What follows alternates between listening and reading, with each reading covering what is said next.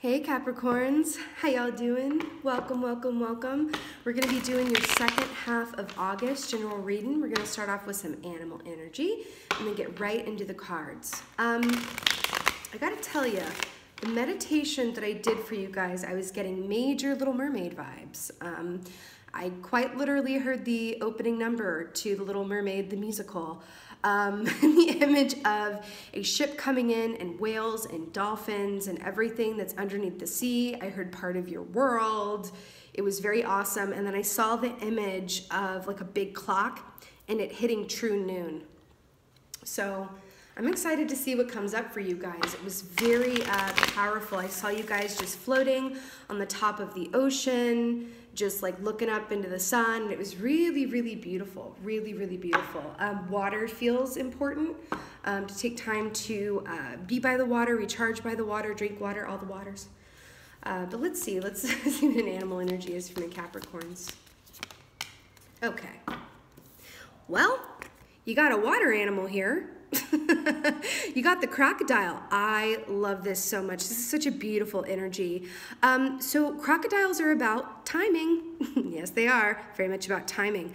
Um, knowing when to wait and when to move. Crocodiles can chill in the marshes and be unseen, and they only really make a movement. Now, when they do move, it's quick and swift, and you never see it coming, right? Because they have a beautiful way of blending into their uh, natural environment. But when they move, it is quick and swift and absolute. They're only going to jump on the prey when it's the right prey at the right time, right? They don't, um, they understand that the energy is uh, on limited reserve. And so they don't go out, you know, just in human terms, energetic terms, they don't go after every opportunity. They're really discerning about the right time to move on something and really seeing the opportunity for what it is. They're, they're you know, energetically speaking. Um, it's about knowing the right time and the right offer, the right opportunity, right? It's not jumping at everything. It's not accepting every cup that's offered you. It's, it's showing discernment around that. But this is about timing and it's a water animal. Let's do it, Capricorns. so um, I'm debuting a new deck here today. I just got back from Lily Dale, which is a spiritualist community in upstate New York. It is my Disneyland, my Disney World, my... okay, that is weird. I just got this deck. I've spent time with it, but I, I did not notice that. Do you see that clock? How Oh my God, that's so crazy. Okay, it says uh, it's six o'clock, but I'm, I'm, it's like pointing at the 12. It's like true six. That is amazing. You know, also they showed me above the sea and below the sea. So, you know, the one, the small hand is pointing downwards and the big hand is, is pointing up. That's amazing to me. Anyway, uh, I went to Lily Dale and they sell a bunch of uh, wonderful spiritual tools. And I got this new deck, and this is the Alice in Wonderland deck, and I'm really excited to debut it here. So let's see what is going on from a Capricorns. Let's see what is going on for my Capricorns for second half of August. But it feels like timing is really important in water, you know what I mean? Okay, what do we, oh, get out of here. Get out of here. Do you remember when I told you in the meditation how I saw dolphins? And it's at the ocean? Stop, so good. Um, so we got the Four of Cups here. Whew. So the Four of Cups is some dissatisfaction, right? It's going, oh, not this, but that. Oh, it's not exactly the way I want it to look. It didn't come exactly when I wanted it to, but that. So this is the energy that's coming in from the past that may be affecting the now, okay? Being in this place of like, um, you know, the, okay, let's look at it this way. The Four of Cups is the grief process. The Five of Cups is the actual mourning in order to get to the mourning, we have to pass through the grief first. So you may be in a place of grief over things or people, jobs, whatever have you, that have not worked out how you would have wanted. And then there's this beautiful dolphin in the background holding up this cup, like, just look behind you. There is something even better for you right? And this is also, you know, the, the key advice here too is to realize that expectations are limitations, right? This is beautiful. I love that dolphin came up in the ocean. Gorge. Okay, let's see what else is going on for my Capricorns. Yeah, a bunch of water vibes for sure. Ooh, Brills. Isn't this amazing, Humpty Dumpty here? So we got the King of Swords here. Um, you know, this is interesting. The King of Swords energy is very absolute, right? Remember, the swords rule the realm of communication and the mental sphere and truth.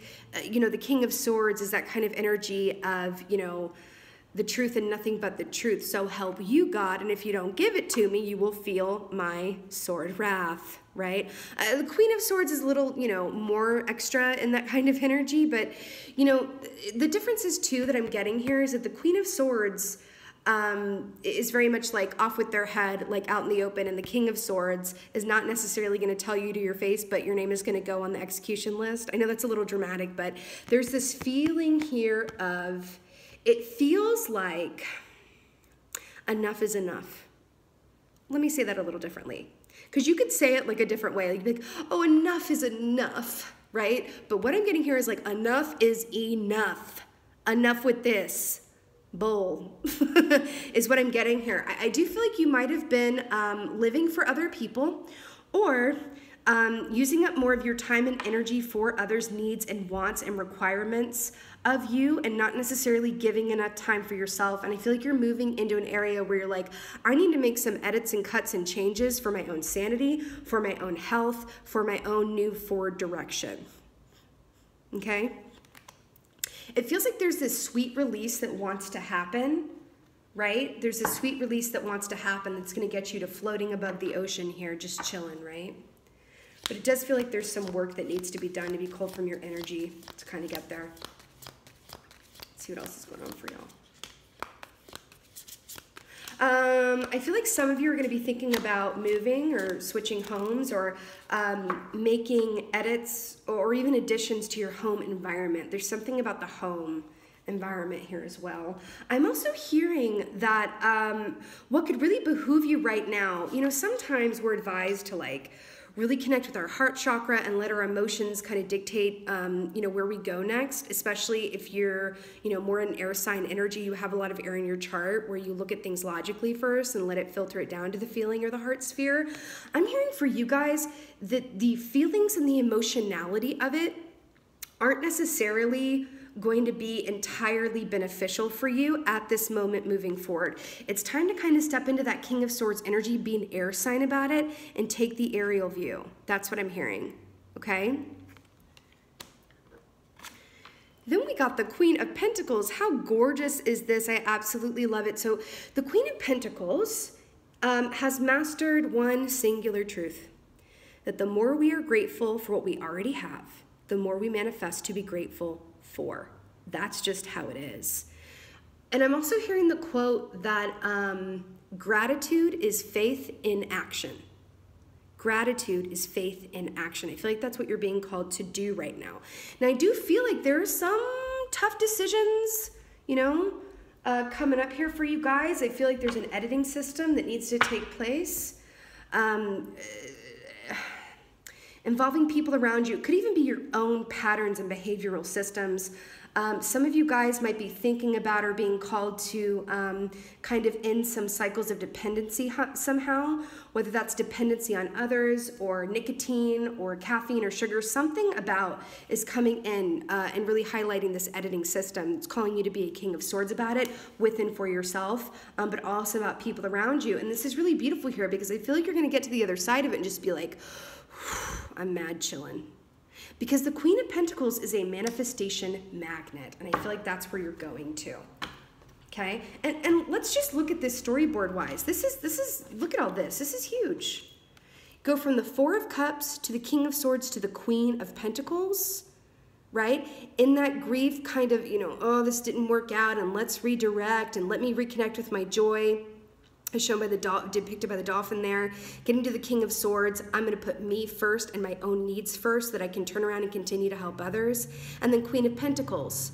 Awesome. Everything that comes to me is going to be in my highest and best good because I am, you know, doing what's best for me. I'm hearing self-care is huge for you guys right now. Self-care. And also being the king of swords with yourself, like I said, where it's like, really look at yourself from that bird's eye view. What are you doing? You know, habitually or patterns or, you know, really take a second look at that. especially under the influence of the full moon in Aquarius, uh, which is happening tomorrow, uh, Thursday the 15th. It's going to be a gorgeous opportunity for that. Okay, uh, Four of Cups here. Let's get a clarifier.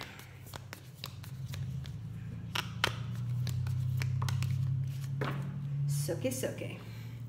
So we got the King of Pentacles here, your, your second card here. So, you know, the fact that the King of Pentacles is clarifying the Four of Cups here, I feel like there is a lack, um, it's going to be different things for different people. But the first thing that I'm getting drawn to here um, is a call to align and cleanse your chakra system, right? From the root all the way up to the top to the crown.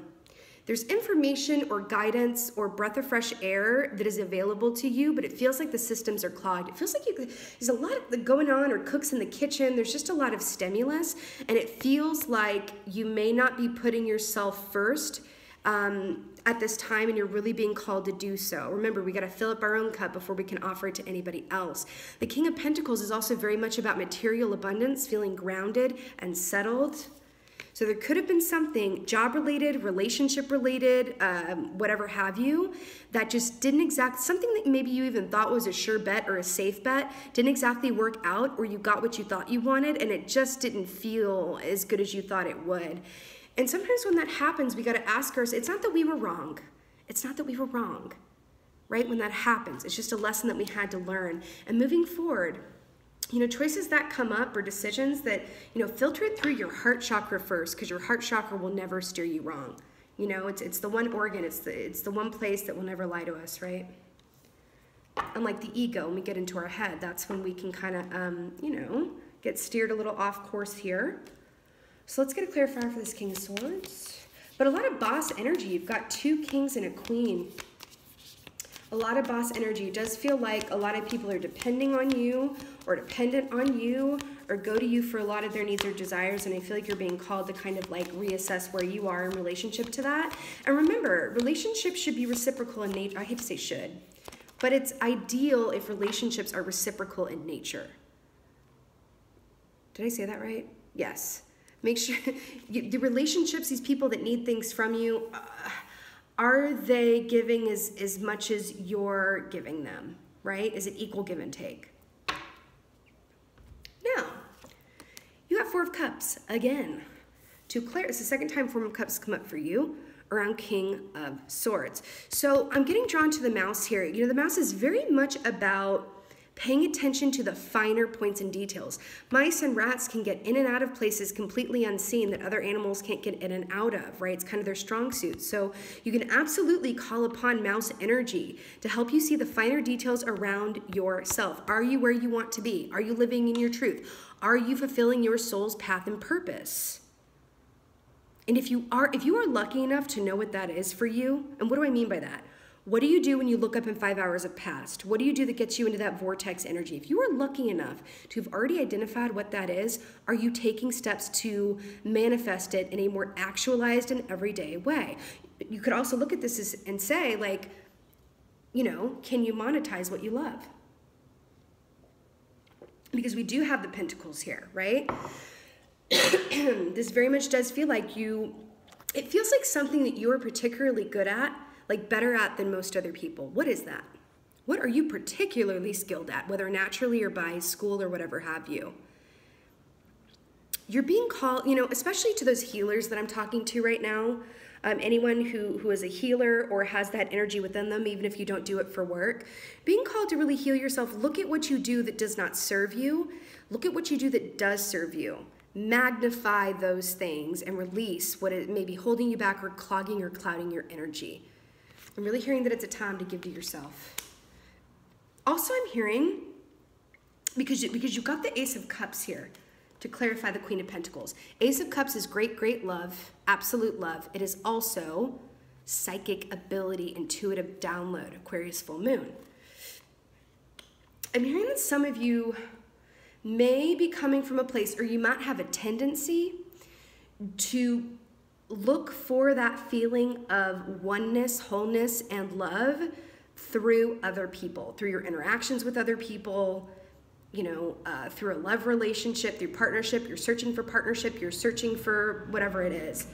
And it feels like you're being called, especially with the crocodile here, to just focus on you and chill so that when the right person or the right job or the right opportunity comes along, you can move on it.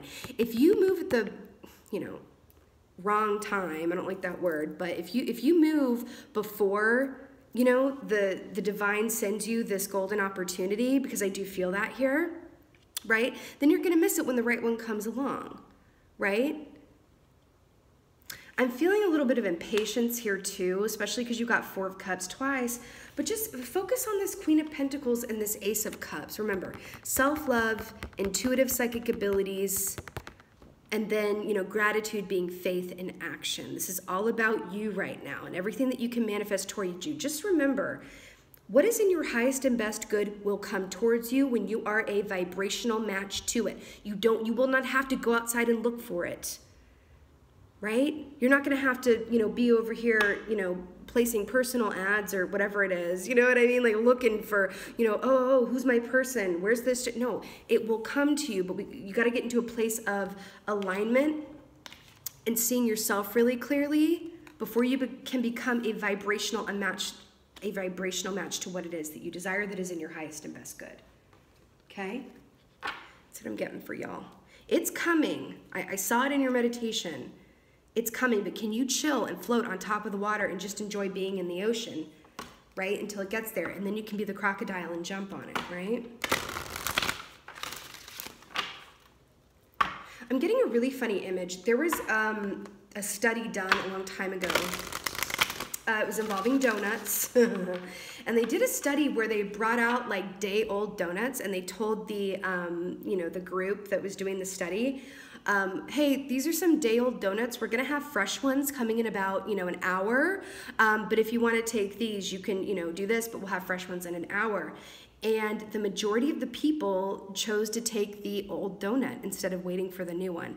That just feels really pertinent. It just does. Um, let's go ahead and to patience, right? Divine timing. Let's. Uh, this is a new deck too. Let's get a crystal oracle deck for you guys. That's what I'm feeling. Oh my God. Okay. Fabulous. Okay. So we got Tiger's Eye, which is so fabulous, by the way. Tiger's Eye, I've got it right here. Tiger's Eye. So Tiger's Eye, are you envious of someone else's good fortune? Are others jealous of you? Replace jealousy with happiness for another's good fortune. Blessings are being received all around. Anyone can create the same blessings with true and pure intention. It's up to you, right? Blessings are being received all around. Anyone can create the same blessings with true and pure intention. It's up to you. I feel like that has a lot to do. You could take this literally if it resonates. Um, but Tiger's Eye is largely about being in your soul path career, releasing blockages around that, right? So then we have like the angel of goodwill little uh, saying here. I am sincerely happy for the blessings in the lives of others. It brings me great joy to see others experiencing happiness. I extend blessings and goodwill to all. I am grateful for other people's good fortune. You know, this could have something to do with the fact that Four of Cups came up here. You know what they say? Comparison is the thief of joy, right? It could be also back to that idea of, you know, giving more than you're you're getting. You know, I'm, I'm hearing the call to speak about this when we overgive, it's a control issue and it's a self worth issue. When we overgive, and please trust that I could not speak on this if I could not directly relate to it, y'all. When we overgive, it's a control issue because we always want to feel like we are worthy of what we get, right? What am I worth if I'm not giving, giving, giving, giving, giving? Right? It just feels very pertinent for you guys, okay? And then when we overgive and we never get exactly, you know, back what we gave, that's like not on the other person. That's on us, right?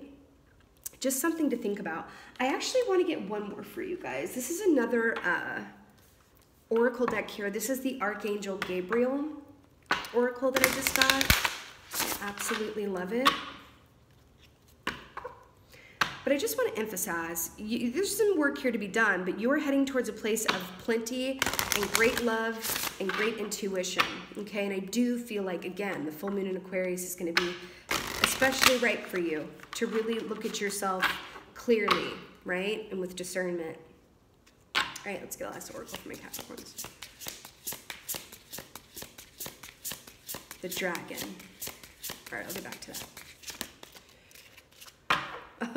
Are you joking? Hi, allow yourself to receive. Remember we are talking about overgiving? Open your arms to welcome the blessings and answered prayers that God is sending you. Let me say that again for the seats in the back.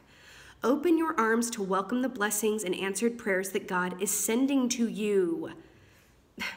What more can I possibly say? When we give and we give and we give, right? And we overgive, right? That also doesn't leave us open to receive. We've got to be balanced around that, equal give and take in all things. Also, there's a worthiness aspect of this as well, right? If we don't feel we're truly worthy at our soul's core, we can't receive, right? And or we can't appreciate, right?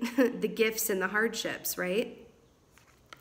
Um, I was going to say something else. I feel like dragon came up for you recently. Um, the dragon is closely related to the crocodile, energetically speaking, because they drew my attention to this eye here. You know, the dragon is about seeing oneself and others clearly. It's also very much a shamanic totem, which is about traveling um, to the lower worlds. Uh, for information and insight. That makes a lot of sense with the meditation I saw with delving beneath the deep blue sea. Um, I'm hearing to really look at your shadow side and do some shadow work around this as well right? We, we love to avoid our shadow side. It's not always pretty, right? But once we do it, it, it really um, unblocks our blessings. It really, really, really, take it from me, it really, really, really, really does. And all you have to do to work on your shadow energy is to go into meditation and set the intention to do so, and then see what comes up, okay? All right, my beautiful Capricorns, this was your second half of August general reading. I so hope this helped and resonated with you. Um, if it didn't, it did. Please let me know in the comments below. I would just love that. And with that being said, just thank you guys so much for being here. Thank you so much for watching. And as always, just thank you for being you. And be well. Until next time.